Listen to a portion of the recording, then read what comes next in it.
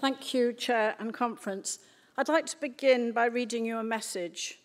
My family is safe. I don't know if safe is the right word. I can say they're alive. My sister, she escaped Moldova with her, her children. She escaped to Moldova with her children, but my father is in Kiev, hiding in the basement of our garage. We have an 85-year-old grandma who can't move. He has stayed in Kiev to take care of her, to take her medicine and groceries. We are praying for them every day. This is the message one of my team received from a Ukrainian friend. We've had many messages like that today. It's the story of millions that should never have been told. Our emergency debate on Ukraine today demonstrated the strength of feeling of every person in this hall, across the labour and trade union movement in this country, and we stand with the people of Ukraine, stand against Putin's aggression, and stand with our friend and Counsel General, Mick Antoniw. But conference, it's in our response, it's in our response here in Wales that I want to speak, to, uh, speak about as your Minister for Social Justice. I'm proud that within few, a few days of Putin's invasion, the Welsh Government announced £4 million for the Disaster Emergency Committee. And I'm proud also that thanks to our brilliant NHS, 17 pallets of medical equipment are now on their way to Ukraine. So we are a nation of sanctuary, as the First Minister said this afternoon. We demonstrated this resolutely through the way we welcomed those fleeing Afghanistan last summer. We are a proud nation of sanctuary, and that's why, along with our First Minister and our brilliant Welsh Local Government Association leader, Councillor Andrew Morgan, and, and his Labour leader colleagues, that we've implored the UK government to remove their callous barriers for those seeking a visa. This is the greatest humanitarian crisis facing Europe since the Second World War. Yet, despite recent announcements, people will still face near insurmountable bureaucracy, and we'll have to wait to see what safety they will find uh, or security that they can provide for their children. And conference, we've called for a compassionate and fully funded refugee resettlement scheme, and we are ready. We are working across the government to prepare for the welcome that we will give to the Ukrainian refugees and we will act, as we've done before, in unity with our local authorities, our third sector, our faith communities, to offer that safety and wel that welcome is synonymous with our nation.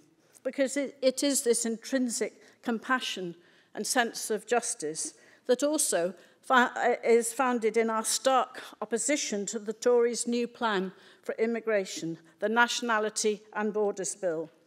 Now, this bill which we believe will breach international conventions and violate basic principles of justice, will increase risks of exploitations faced by all migrants and asylum seekers, and that will lead to serious human rights violence. In recent weeks, the, the Senedd rejected this bill, with, withholding its consent, as we did also on the appalling police court sentencing bill, which seeks to criminalise our Gypsy, Roma and traveller communities. Now, this is not just the only, the Tories are hell bent on the erosion of human rights, including dropping the Human Rights Act. We have a vigorous opposition to that with our partners in civic society in Wales. And, you know, this is what the Tories are concentrating on. They're failing to act on what matters to people's lives, as we've heard in this debate this afternoon, the cost of living crisis. They've ignored uh, the calls for a windfall tax on oil and gas companies. They've ignored our calls to cut VAT, calls to reverse their draconian cuts to universal credit and to halt their taxation hikes. The Tory Chancellor is overseeing the worst drop in living standards for 50 years, hitting the poorest hardest. And while the, the Tories uh, stand by, Welsh Labour has acted and together with our Minister for Finance and Local Government, Rebecca Evans, we introduced that support package that nearly doubles what is on offer in England, providing over 330 million through our winter fuel support scheme, our council tax reduction scheme, our emergency support fund, our hung holiday hunger programme and free school meal provision. and making sure that we address that all-important issue raised this afternoon about heating or eating. This should not be the way in a civilized society uh, in, the, in 2022, and the Welsh Government will provide that shield and interact. So finally, conference. During COVID, we saw our country, our local authorities, our faith communities, our third sector, our police, our NHS rallying to protect those who they hold so dear. And throughout this last year, we've also delivered on many areas of our manifesto and more. We've kick-started the Disability Rights Task Force. We brought forward a groundbreaking action plan for an anti-racist Wales. We've boosted funding for our Wales and Africa programme during the pandemic. We've consulted on our LGBTQ plus action plan. We've extended our childcare offer to people in education and training.